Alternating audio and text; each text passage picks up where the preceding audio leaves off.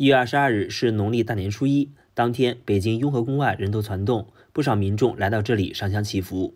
早上七时，雍和宫正式开门，在过完安检、查验完票证后，不少人就加紧脚步向雍和宫大殿走去。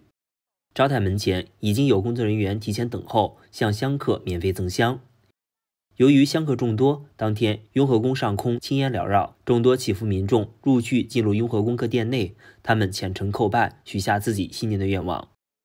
是第一年，我们俩结婚的第一年，嗯，然后就是在北京过年，所以就是很有纪念意义。我们昨天晚上就想着今天要来祈福嘛，就想呃新年有个好的兆头，然后就希望新的一年能够全家都健健康康，然后平安幸福。然后事业也能够节节高，也希望还是家人身体健康吧，然后孩子也是，嗯，平安成长。就希望能今年赶紧考上大学，对，然后留在北京，大家都很虔诚，希望每个人的愿望都能成真。据介绍，由于疫情原因，雍和宫已经连续三个春节没有对外开放。北京雍和宫管理处相关负责人介绍，此次开放前，雍和宫已经提前谋划部署。采取措施，努力为游客信众提供和祥和顺的礼服环境。比如呢，我们提前向社会发布公告，引导大家呢网上预约购票。呃，同时呢，我们延长了开放时间。呃，像这个大年初一啊，我们延长了三个小时。呃，另外呢，我们增设了安检通道。增设了检票口，每小时进园的人数最高能达到八千人。同时呢，我们在院内啊，采取了这个由南向北单向行进，避免这个交叉回流啊这样一些措施。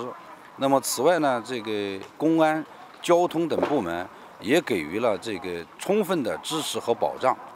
很多香客也是奔着抢雍和宫的头香一路小跑，认为抢到头香能有更多福报。对此，步英华表示。所谓头香，并不是大年初一某个跑到最前面的人上的第一炷香，而是新的一年头一次在佛前上的香。这个常听僧人师傅讲啊，佛法平等，众生平等。呃，所谓的头炷香呢，也不是说呃大年初一某一个人跑到最前面上的第一第一炷香。呃，僧人师傅讲呢，这个呃头炷香啊，就是您自己。在新的一年，在佛前上的第一支香，呃，称之为头炷香。从这个意义上讲呢，呃，正月初一是头炷香，正月初二也是头炷香，正月初三还是头炷香。呃，最重要的是呢，呃，不计较，不比较。呃，佛经上也讲嘛，诸恶莫作，众善奉行，心香一念都得平安。据介绍，当天有五万余人前来雍和宫上香祈福。